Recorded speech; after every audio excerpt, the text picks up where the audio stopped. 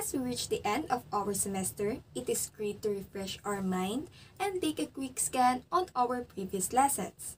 I am Maria Cristina Micaela A. Cabus. My name is Justin Joy De Leon. I am Mary Joy Nai. I am Masha Shobe Warner. My name is Angel Joyce Austria. I'm Marilyn De La Cuesta. My name is Nicole. My name is Joyce Ann Wilson. I'm Benedict Daniel Chu. I am Eunice Joy Cruz. And I am Sarah Chua. And this is Heritage.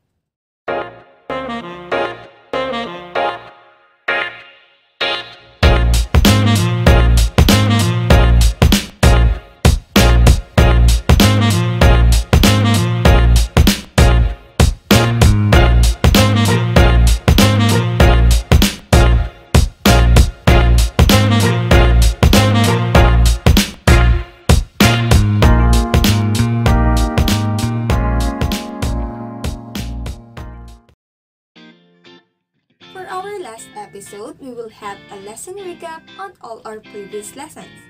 So what are you waiting for? Let's start now. Cultural tourism. A type of tourism activity in which the visitor's central motivation is to learn, discover, experience, and consume the tangible and intangible cultural attraction in tourism destination. This attraction relates to a set of particular materials, intellectual, spiritual, and emotional features of a society that represent arts, architecture, historical, culinary, music, living culture, and their lifestyle, beliefs, and traditions. It is one of the main reasons why people travel, to experience the places and to try new things or outside their comfort zone. The growing interest of visitors in cultural experience brings opportunities as well as the challenges for tourism industry. The sector needs to adopt and strengthen policies and governance that benefit all stakeholders while preserving and further promoting the cultural asset and expressions. The lesson that is assigned to me is the importance of intangible cultural heritage, and according to the UNESCO, the term cultural heritage has changed content considerably in recent decades, partially owing to the instruments developed by UNESCO. Cultural heritage does not end at monuments and collecting objects. It also includes traditions and living expressions inherited from our ancestors and passed on to our descendants, such as oral traditions, performing arts, social practices, rituals, festive events, knowledge and practices concerning the nature, and the universe of the knowledge and skills to produce traditional craft. The importance of intangible cultural heritage is not the cultural manifestation itself, but rather the wealth of knowledge and skills that is transmitted through it and passed on from one generation to the next. The social and economic value of this transmission of knowledge is relevant for the minority groups and for mainstream social groups within a state, and it is also important for developing state as for developed ones. While fragile, intangible cultural heritage is an important factor in maintaining cultural development in the face of the growing globalization. An understanding of intangible cultural heritage of different communities helps with intercultural dialogue and encourages mutual respect for others' way of life. Cultural or heritage concept in the Philippines. You can experience the beauty of the Philippines by exploring or traveling around the country. You can also experience the Philippines by studying or researching the history of the Philippines. You can also visit the heritage or cultural site, visiting museums, and reading a newspaper or through the internet. The Philippines has so many places that you can visit, especially um, when you love churches or beaches, you can visit the following. Number one is Tubataha Reef. Tubataha Reef is also known as Tubataha Reef National Park. This is a protected area of the Philippines located in the middle of the Sulu Sea. It's also considered the best dive spot in the Philippines. Number 2, Puerto Princesa Subterranean River National Park. Puerto Princesa is the World Re-owned Puerto Princesa Subterranean River National Park, which holds a place in the, in the new Seven Wonders of the Philippines.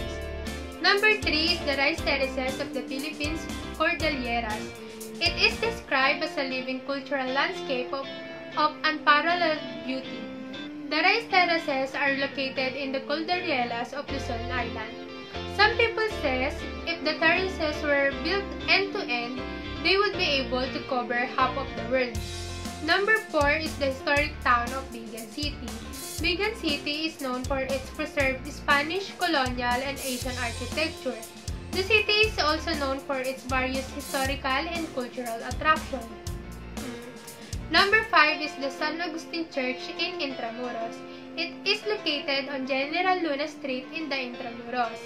Um, it was the only building left intact after the destruction of Intramuros in World War II. Number 6, Miagao Church in Iloilo. Miagao Church is a famous for the painstaking, painstakingly detailed sculptural relief on its pavement.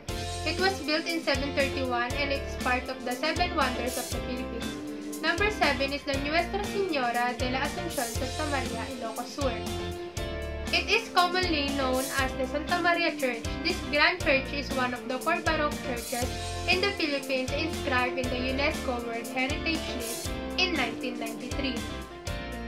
The UNWTO or the World Tourism Organization creates a study about the intangible cultural heritage that provides comprehensive baseline research on the links between tourism and intangible cultural heritage, which was drawn from the five continents and it offers information on the analysis of government-led actions, public-private partnerships, and community initiatives.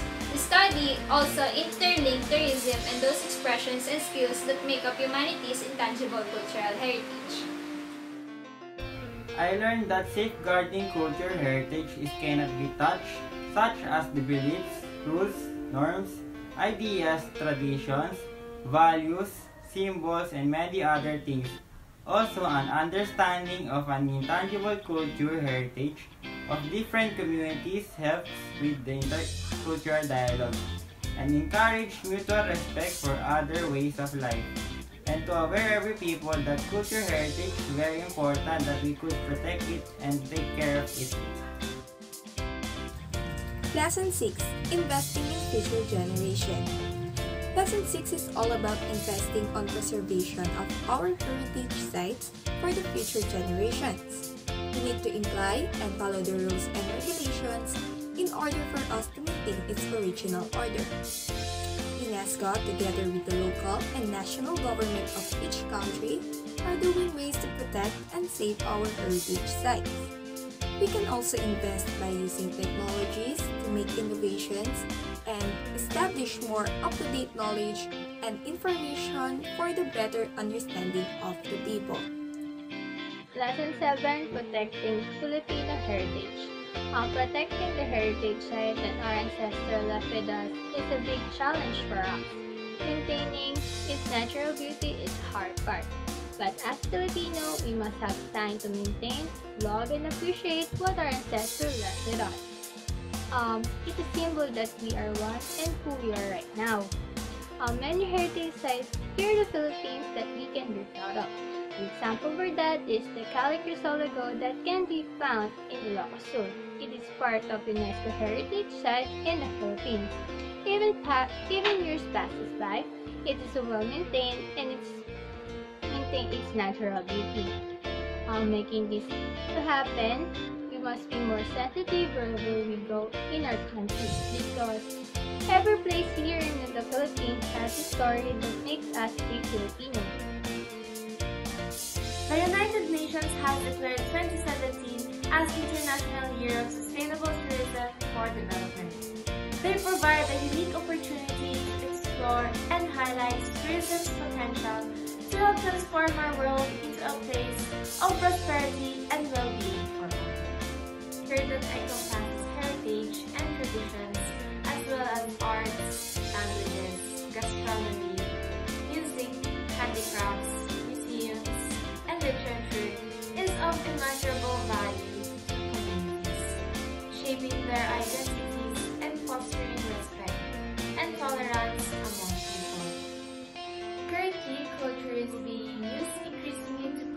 destinations and enhance their competitiveness and attractiveness. With the significant contribution cultural tourism can make the socio-economic development. Its popularity is increasing at a faster pace than most of the other segments, even faster than the growth rate of tourism worldwide. According to United Nations Environment Program, sustainable tourism describes policies, practices, and programs that take into account not only the expectations of tourists regarding responsible natural resource management, but also the needs of communities that are affected by tourism projects and the environment. To achieve sustainable tourism, all sectors have to follow a continuous process which requires constant monitoring of impact and implement the necessary preventive or corrective measures at all times. Making optimal use of environmental resources that form a key element in tourism development, maintaining essential ecological process, and helping to conserve natural heritage and biodiversity.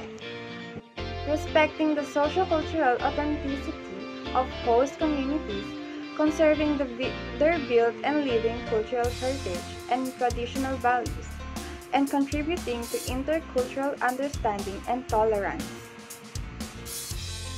Remember, sustainable tourism should not only satisfy the traveler's needs of pleasure and relaxation, but also to ensure a meaningful experience that raises their awareness about preserving and conserving nature and culture while contributing to the local community as a lasting legacy. Engaging the people to the culture and values can build relationship towards our society for being aware and to gain more knowledge. Philippine culture and values should be preserved because it's one of the reasons why we have our own beliefs that has been taken up until now, and the thing that we're going to pass into our future generations. The people should always be aware of our heritage protection, safeguarding, and promotion in a way that can be well known and preserved. Therefore, we have to raise awareness for developing our culture and values for maintaining its natural importance. Immovable tangible heritage of the Philippines. Immovable heritage consists of buildings, lands, and other historical valuable items that are connected by fixed foundation to the ground. Immovable objects as cultural monuments if they provide significant evidence of historical development, way of life, and environment of society from the earliest time to present, and display the creative abilities and work of people from all manners of human activity.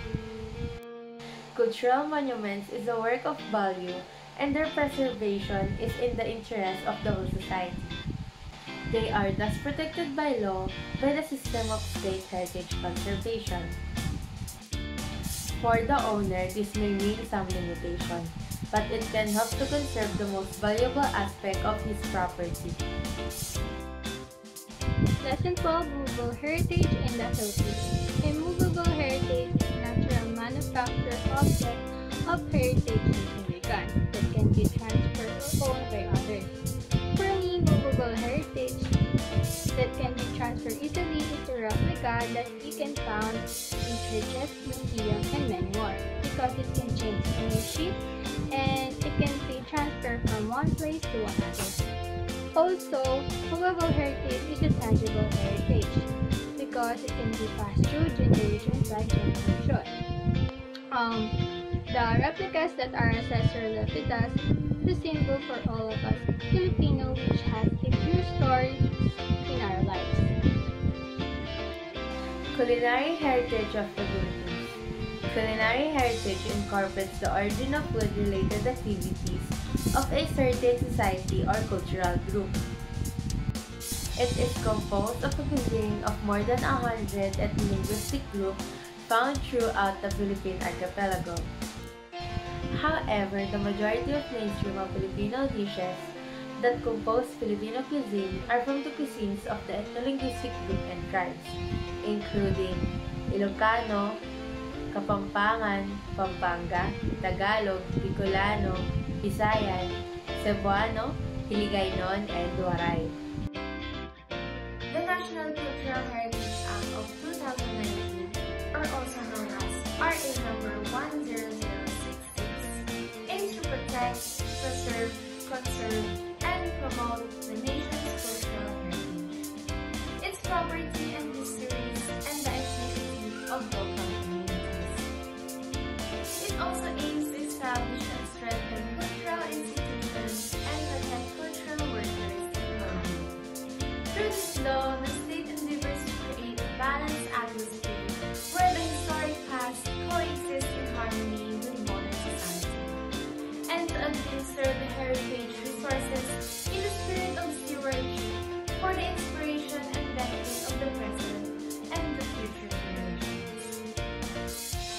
you all, ladies. Sadly, all good things must come to an end. But learning will never end, so never stop learning. I am Maria Cristina Micaela A. Cabus, and this is Heritage. Now signing off.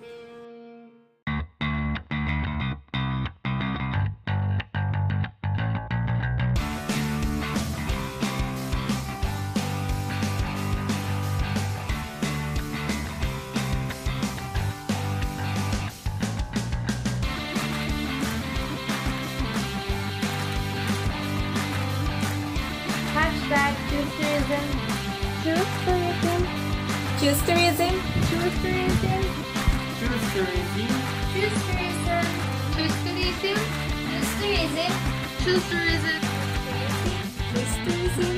Choose Manila.